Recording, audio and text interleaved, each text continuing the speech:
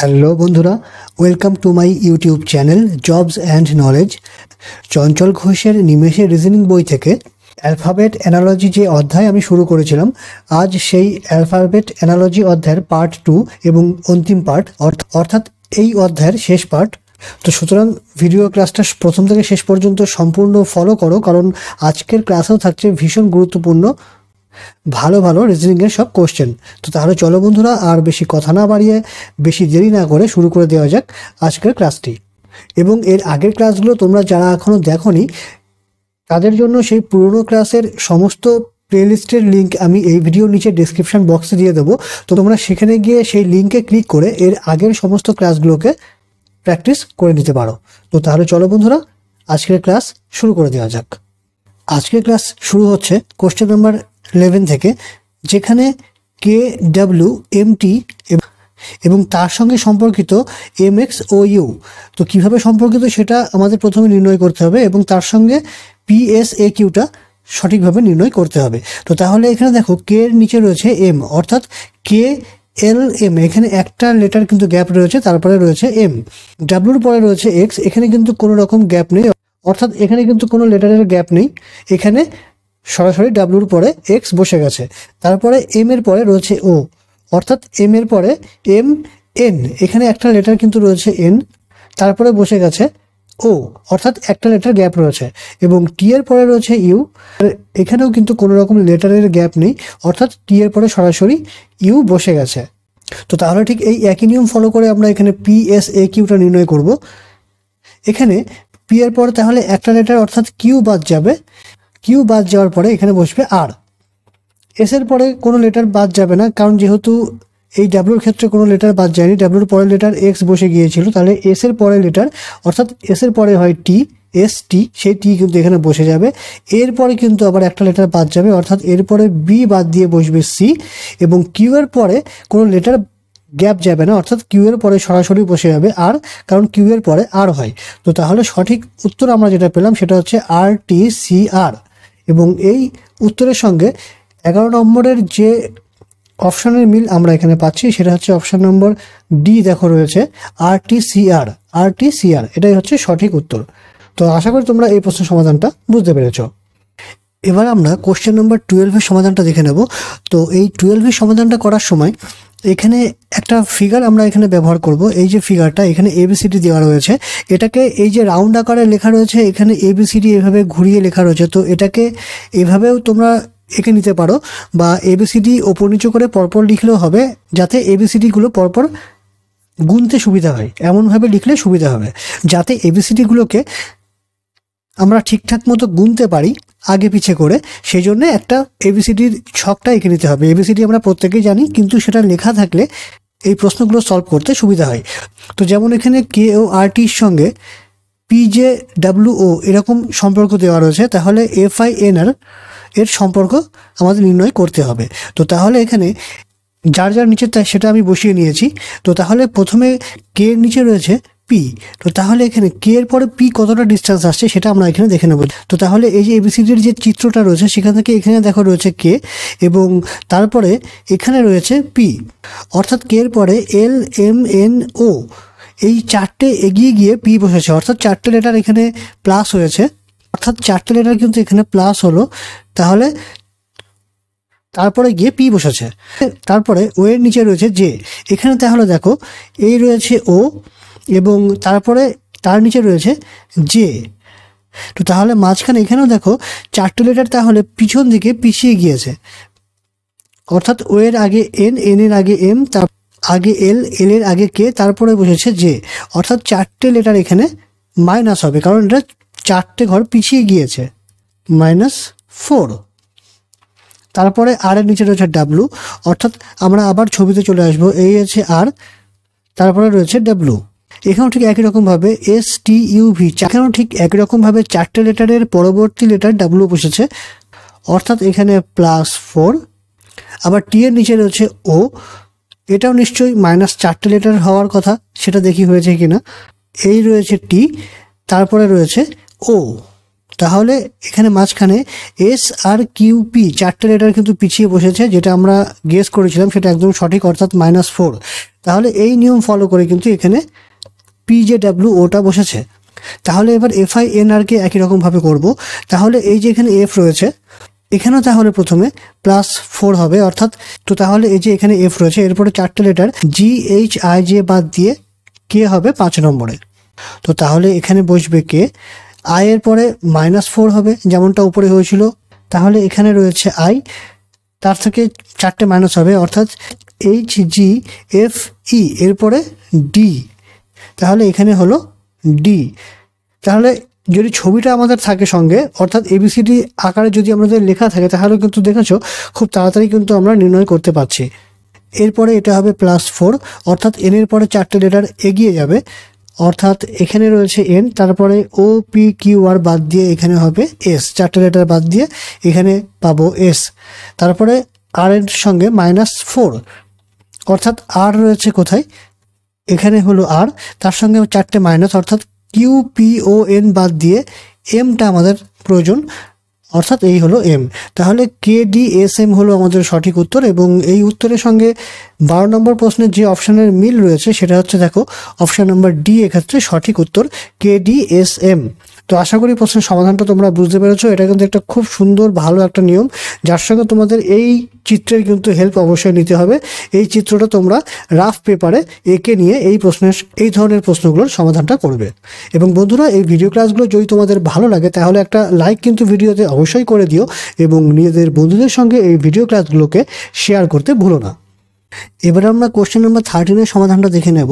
তো এখানে যে লেটার সমষ্টিগুলো দেওয়া রয়েছে এগুলো কীভাবে সম্পর্কিত সেটা আগে আমরা দেখে নেব। যেমন, এখানে রয়েছে বি তারপরে সি বাদ দিয়ে রয়েছে ডি তারপরে ই বাদ দিয়ে রয়েছে এফ অর্থাৎ মাঝখানে একটা করে লেটার বাদ দিয়ে কিন্তু এগুলো বসেছে এবং এর সঙ্গে এইচ আই এল রয়েছে। অর্থাৎ এখানে হচ্ছে এইচ তারপরে হচ্ছে আই তারপরে দুটো, অর্থাৎ জে এবং কে বাদ দিয়ে রয়েছে এল তো তাহলে এখানে দেখো, এখান থেকে কিন্তু বোঝা যাচ্ছে এই যে নিয়মটা রয়েছে, এই নিয়মের সঙ্গে এই নিয়মটার কিন্তু কোনো রকম মিল নেই।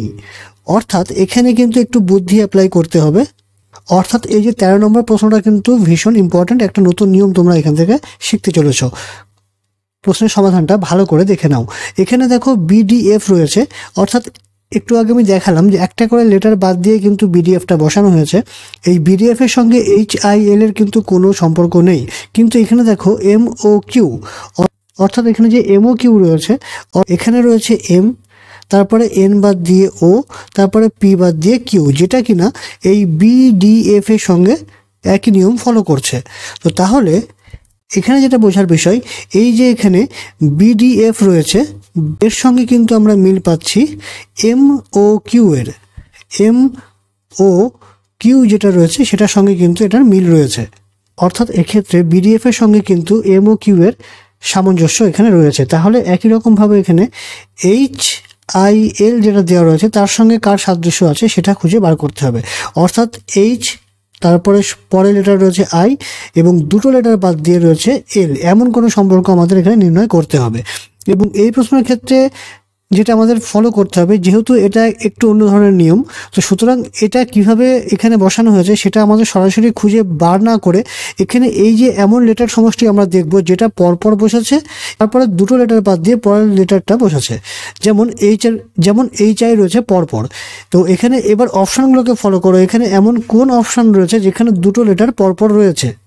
যেমন এক্স ভি এটা কিন্তু পরপর নেই টিভি এটা পরপর নেই ভিটি এটাও কিন্তু পরপর নেই, কিন্তু টি ইউ এই টি ইউ কিন্তু পরপর রয়েছে। এই হলো টি তারপরে হচ্ছে ইউ এই দুটো পরপর পেলাম, এবং তারপরে রয়েছে এক্স অর্থাৎ দুটো লেটার বাদ দিয়ে রয়েছে এক্স যেটা কিনা সম্পূর্ণ এইচ আই এল এর মতো নিয়ম ফলো করছে, অর্থাৎ টি ইউ এক্স প্রথম দুটো পরপর, তারপর দুটো লেটার বাদ দিয়ে এক্স তো সুতরাং তাহলে টি ইউ এক্স এক্ষেত্রে আমাদের সঠিক উত্তর নেব, যেটা হলো তেরো নম্বর প্রশ্নের অপশান নম্বর ডি এটা কিন্তু এই পদ্ধতিতে নির্ণয় করলে খুব তাড়াতাড়ি নির্ণয় করা যাবে। আশা করি প্রশ্নের সমাধানটা তোমরা বুঝতে পেরেছ, এবং এটিও কিন্তু একটা খুব ভালো প্রশ্ন, খুব ভালো নিয়মের একটা রিজনিং এবার এখানে দেখো বলা রয়েছে, নির্দেশে দেওয়া রয়েছে চোদ্দ থেকে কুড়ি, নিম্নের চিত্রটি দেখে জিজ্ঞাসা চিহ্ন স্থানে সঠিক অক্ষর বসান। অর্থাৎ এখানে এই যে চিত্রটা দেওয়া রয়েছে, অর্থাৎ এখানে এই যে চিত্রটা দেওয়া রয়েছে, এগুলো দেখে এই যে পরবর্তী যে কোশ্চেনগুলো দেওয়া রয়েছে এইগুলো সলভ করতে হবে। অর্থাৎ চোদ্দ, পনেরো, ষোলো এইভাবে যে কোশ্চেনগুলো দেওয়া রয়েছে, তার যে কোশ্চেন মার্কগুলো যে জায়গাগুলো দেওয়া রয়েছে, এই কোশ্চেন মার্কগুলোকে সঠিকভাবে নির্ণয় করতে হবে। তো এগুলো কিন্তু ভীষণ ইন্টারেস্টিং এবং খুব ইম্পর্টেন্ট তো তাহলে চলো বন্ধুরা, এবার এই প্রশ্নের সমাধানগুলো দেখে নেওয়া যাক। প্রথমে কোশ্চেন নাম্বার ফোরটিনে যেটা দেওয়া রয়েছে G H F is to C D B অর্থাৎ এখানে এই যে জি এইচ এফ এই যে ত্রিভুজটা দেওয়া রয়েছে এবং তার সঙ্গে সম্পর্কিত রয়েছে সি বি ডি অর্থাৎ সি বি ডি এই অংশটা। তাহলে ই এফ ডি অর্থাৎ এই যে ই এফ ডি এই ত্রিভুজটা রয়েছে, এই অংশটার সঙ্গে এই কোশ্চেন মার্কে কি হবে? তো তাহলে এবার যেটা বোঝার বিষয়, এই যে তিনটে ত্রিভুজ পরপর পাওয়া গেল, এটা কিন্তু সম্পর্কটা আমরা কীভাবে নির্ণয় করব? এটা জি এইচ এফ এর সঙ্গে এই ত্রিভুজের এবং সিডিবি এর সঙ্গে এই ত্রিভুজের সম্পর্ক নির্ণয় করতে চেষ্টা করব। তাহলে আমাদের সঠিক উত্তরটা তাড়াতাড়ি নির্ণয় হয়ে যাবে। কারণ এখানে দেখো জি এইচ এফ এর পরে যদি আমরা ই এফ ডি এই ত্রিভুজের সঙ্গে যদি এই ত্রিভুজ সম্পর্ক নির্ণয় করি এবং তারপরে যদি সিডিবি এটাকে নির্ণয় করি, তাহলে বোঝা যাচ্ছে এটা কিন্তু ত্রিভুজটা ধীরে ধীরে এই দিকে এগোচ্ছে। অর্থাৎ পরবর্তী ত্রিভুজটা হবে এইটা মানে যেটা হলো এ বি জে অর্থাৎ এই এ বি জে হবে সঠিক উত্তর, যেটা হচ্ছে চোদ্দ নম্বরের অপশন নাম্বার এ। তো আশা করি প্রশ্ন সমাধানটা তোমরা বুঝতে পেরেছ। এবার আমরা কোশ্চেন নাম্বার ফিফটিনের সমাধানটা দেখে নেব, যেখানে প্রথমে রয়েছে এ কে জে, অর্থাৎ এ কে জে, এ অংশটা। তারপরে রয়েছে জি এন এইচ অর্থাৎ জি এন এইচ এই অংশটা, এবং তারপরে রয়েছে ই এম ডি অর্থাৎ এই অংশটা। তো তাহলে এই তিনটে অংশ এখানে দেওয়া রয়েছে, যেখানে প্রথম এই দুটো অংশ পরপর সম্পর্কিত বলা হয়েছে। সেটা কীভাবে? তো এটা ভালো করে দেখবে, যদি এখানে এই যে টোটালটাকে একটা ত্রিভুজ হিসেবে ধরা হয়, এই যে ত্রিভুজের অংশটা, এর মধ্যে এর মধ্যে থেকে কিন্তু এই অংশটা কিন্তু আগে, এই অংশটার মধ্যে থেকে এই অংশটা কিন্তু এবং এই অংশটা পাওয়া গিয়েছে। আবার একই রকমভাবে এই, এইটাকে একটা ত্রিভুজ ধরা হয়। তো এই ত্রিভুজের মধ্যে থেকে এই অংশটা এবং এই পুরো অংশটা কিন্তু পাওয়া গেছে, যেটা আগে পুরো এই ত্রিভুজের এই অংশটা পাওয়া গিয়েছিল। তাহলে এই দুটো ত্রিভুজের মধ্যে কমন অংশ হচ্ছে কিন্তু এই জায়গাটুকু। তাহলে এই জায়গাটুকুর বাকি অংশটাকে আমরা নিয়ে কিন্তু উত্তরটা করব যে, তাহলে এই জায়গাটুকুর বাকি অংশটা অর্থাৎ এই যে এ, কে, বি, এই যে অংশটা রয়েছে, এই অংশটা কিন্তু নিয়ে আমাদের বাকি উত্তরটা হয়ে যাবে যেটা এই ত্রিভুজেরও অংশ এবং এই ত্রিভুজেরও অংশ। এই দুটো ত্রিভুজের একটা কমন অংশ হচ্ছে এই পার্টটুকু এই যে ত্রিভুজটা এই অংশটা কিন্তু হলো, অর্থাৎ এই যে এ জে বি এই যে অংশটা, এই অংশটার মধ্যে থেকে কিন্তু দুটো ত্রিভুজ বেরিয়ে আসবে।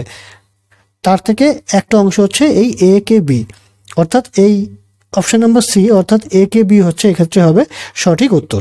এটা কিন্তু ভীষণ ইম্পর্ট্যান্ট এবং খুব ইন্টারেস্টিং আশা করি প্রশ্নের সমাধানটা তোমরা বুঝতে পেরেছ। এবার আমরা কোশ্চেন নাম্বার সিক্সটিনের সমাধানটা দেখে নেব।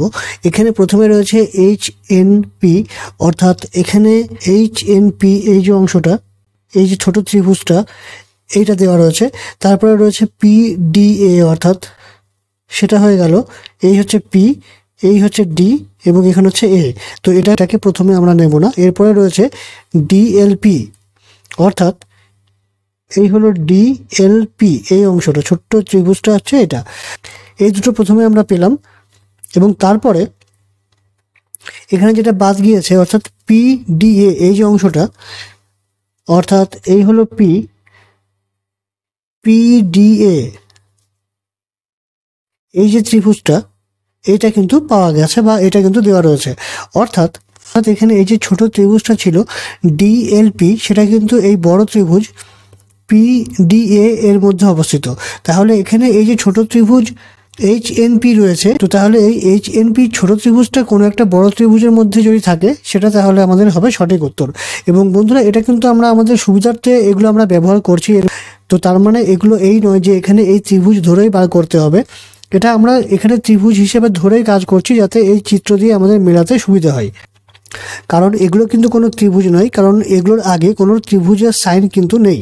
কিন্তু আমরা আমাদের সুবিধার্থে এগুলো ত্রিভুজ আকারে ধরে কাজ করছি। তো তাহলে এখানে এই যে ছোট ত্রিভুজটা আমরা পেলাম, এর সঙ্গে পি এইচ ই যদি আমরা এই বড় ত্রিভুজটা নিই, তাহলে কিন্তু তেমন কোনো অপশান এখানে নেই। অর্থাৎ অর্থাৎ এটা হবে না। আবার যদি একই রকমভাবে পি এইচ আই এই ত্রিভুজটাকে আমরা নিই, এই ত্রিভুজ নিলেও কিন্তু কোনো রকম উত্তর আমরা এখানে অপশানে পাচ্ছি না। কিন্তু এখানে পি জে জি এই যে ত্রিভুজের মতো অংশটা যদি আমরা নিই, তাহলে কিন্তু এই বড় ত্রিভুজের মতো ছোট ত্রিভুজটা আমরা পেয়ে যাচ্ছি। অর্থাৎ পি জে জি এখানে কিন্তু অপশন রয়েছে। অর্থাৎ এই অপশন নাম্বার এ এক্ষেত্রে সঠিক উত্তর, অর্থাৎ একটা বড় ত্রিভুজের মধ্যে ছোট একটা ত্রিভুজ কিন্তু এখানে আমরা পেয়ে যাচ্ছি। অর্থাৎ এটা হবে সঠিক উত্তর। তো তাহলে একই রকমভাবে এই যে সতেরো, আঠারো, উনিশ, কুড়ি, এই যে চারটি প্রশ্ন, এই প্রশ্নের চারটে সমাধান তোমরা অবশ্যই ভিডিও নিচের কমেন্ট বক্সে করে জানাবে। এর সঠিক উত্তরগুলো কি হবে? এবং এই চারটে প্রশ্নের উত্তর করতে গেলে অবশ্যই কিন্তু এই চিত্রটাকে ফলো করতে হবে। এই চিত্রটা ফলো করে এই চারটে প্রশ্নের উত্তর তোমাদের নির্ণয় করতে হবে এবং এর পরেও যদি তোমাদের এই চারটে প্রশ্ন সলভ করতে কোনো রকম অসুবিধা হয় সেটাও কিন্তু ভিডিও নিচে কমেন্ট বক্সে কমেন্ট করে জানাবে। আমি অবশ্যই পরবর্তী কোনো ভিডিওতে এই চারটে সমাধান তোমাদেরকে করে দেখিয়ে দেবো। তো তাহলে বন্ধুরা, আজকের ভিডিও ক্লাসে এইটুকুই। পরবর্তী ভিডিও ক্লাসগুলো পেতে জবস অ্যান্ড নলেজ ইউটিউব চ্যানেলকে অবশ্যই সাবস্ক্রাইব করে রাখো এবং বেল আইকনটা প্রেস করতে কিন্তু ভুলো না। এবং হ্যাঁ বন্ধুরা, যারা তোমরা এই ক্লাসগুলোকে ফলো করছ, তারা কিন্তু ক্লাসগুলোকে একবার করে করে ছেড়ে দিও না। বারবার প্রতিনিয়ত প্র্যাকটিস করতে হবে। বারে বারে প্র্যাকটিস করলে কিন্তু তোমরা এই রিজনিং ক্লাসগুলোকে ভালোভাবে আয়ত্ত করতে পারবে। তো তাহলে বন্ধুরা, আজকের ক্লাসে এই পর্যন্তই। ভিডিওটা প্রথম থেকে শেষ পর্যন্ত সম্পূর্ণ দেখার জন্য অনেক অনেক ধন্যবাদ। ভালো থাকো, সুস্থ থাকো জবস অ্যান্ড নলেজ ইউটিউব চ্যানেলের সঙ্গে থাকো।